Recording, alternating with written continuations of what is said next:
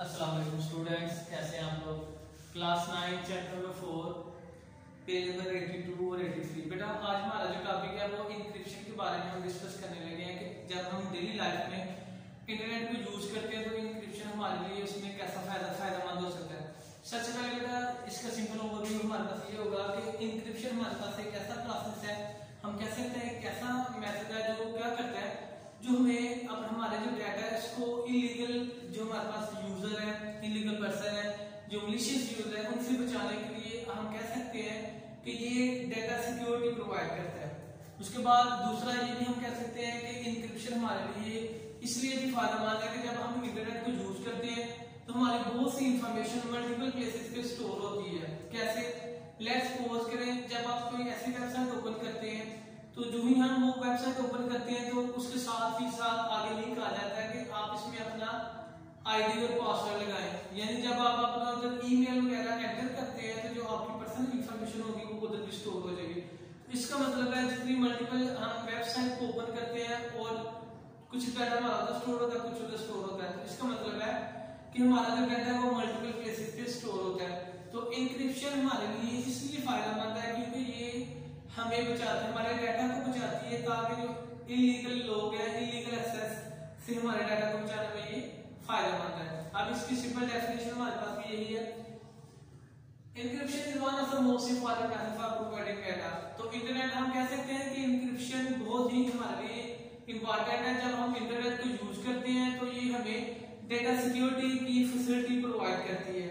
उसके बाद जब हम इंटरनेट को यूज़ करते हैं कोई वेबसाइट ओपन करते हैं हमारा जो डाटा होता है वो मल्टीपल प्लेसेस पे स्टोर होता है तो उसमें बहुत ज़्यादा ये चांसेस होते हैं कि हमारे डाटा को हैक किया जा सकता है हैकर जो होते हैं वो क्या करते हैं हमारे डाटा में तीन किस्म की चेंजिंग कर सकते हैं या तो वो क्या कर सकते हैं हमारे डाटा में चेंजिंग कर सकते हैं हमारे डाटा को डिलीट कर सकते हैं या फिर क्या कर सकते हैं हमारे डाटा को कॉपी पेस्ट करके किसी दूसरे पर्पज के लिए भी यूज़ कर सकते हैं उसके बाद एनक्रिप्शन हमारे लिए इसलिए इम्पोर्टेंट है क्योंकि हमें ये एक सिक्योर वे प्रोवाइड करती है ताकि जो कि लीगल लोग है वो हमारे डाटा को यूज़ ना कर सके। अब इन तमाम से बचने के लिए हमारे पास बेसिकली थ्री पॉइंट्स है। सबसे पहले हमारे पास आता है प्रोटेक्ट फ्रॉम हैकर्स अब बेसिकली सिंपल देखते हैं हैकर्स क्या है। हैकर हमारे पास कंप्यूटर के एक्सपर्ट पर्सन होते हैं जो क्या करते हैं, जब हम डाटा को एक जगह से दूसरी जगह लेके जाते हैं तो उसमें वो हमारे डाटा को चेंज भी कर सकते हैं डिस्ट्रॉय भी कर सकते हैं, आगे इसमें वो अपडेट भी कर सकते हैं इसको यानी इसमें एडिटिंग भी कर सकते हैं। तो इसकी सिंपल डेफिनेशन हमारे पास क्या है?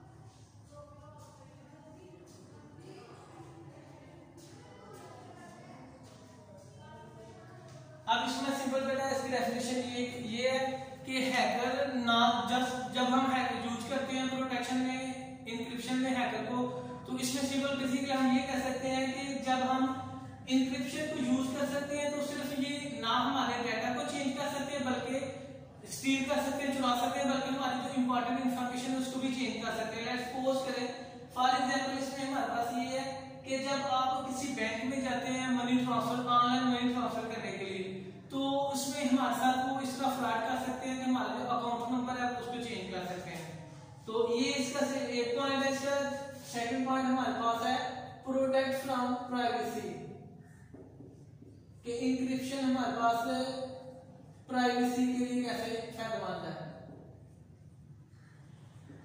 अब इसकी सिंपल डेफिनेशन हमारे पास ये होगी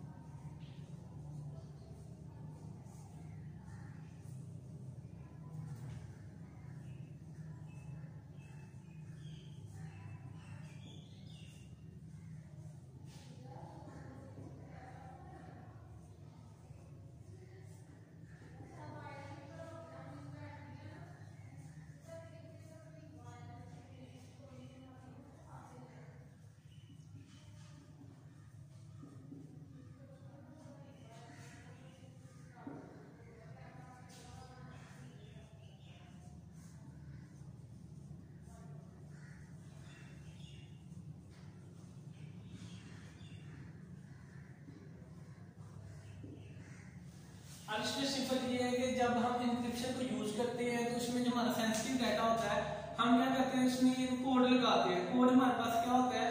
हमारे पास एक की है, एक पासवर्ड है। अगर हम अपने सिस्टम में, अपने डिवाइसेस के अंदर पासवर्ड लगाएँगे तो इस, इसकी वजह से हम अपने डाटा को प्राइवेट प्राइवेसी की वजह से हम अपने डाटा को बचा सकते हैं। और इसमें जो हमारे पास क्रिमिनल होंगे, उनको हम कम से कम मौका देंगे कि हमारे डाटा को यूज़ कर सकें। इसका ये सेकंड पॉइंट है। थर्ड पॉइंट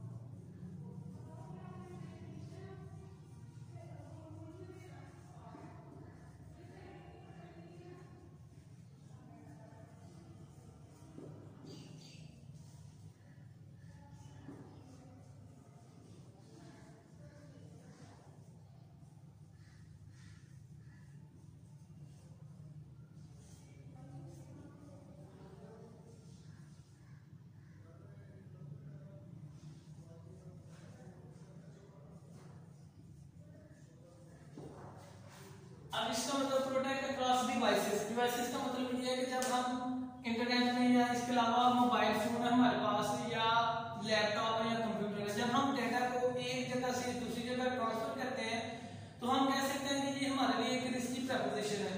इसकी वजह यह है कि जब हम डाटा को एक जगह से दूसरी जगह लेके जाते हैं उसमें बहुत से रेयर चांसेस होते हैं कि हमारे डाटा को हैक किया जा सकता है उसको स्टील किया जा सकता है उसमें चेंजिंग की जा सकती है या फिर उसको चुराया जा सकता है या फिर उसको डेस्ट्रॉय भी किया जा सकता है तो इंक्रिप्शन हमारे लिए इसलिए भी फ़ायदेमंद है कि जब हम अपने डाटा को एक जगह से दूसरी जगह ट्रांसफ़र करते हैं तो हमारे लिए इसलिए ये हमारे डाटा को सिक्योर रखती है कि जो इलीगल लोग हैं वो इसको कम से कम यूज़ कर सकें।